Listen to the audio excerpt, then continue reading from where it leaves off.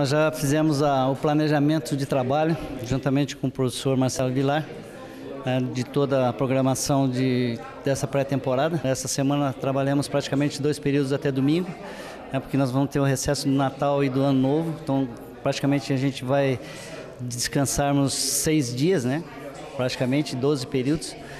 E dentro disso, estou tranquilo, é, dá, dá de se notar que vai ser um grupo forte, um grupo que, que quer trabalhar.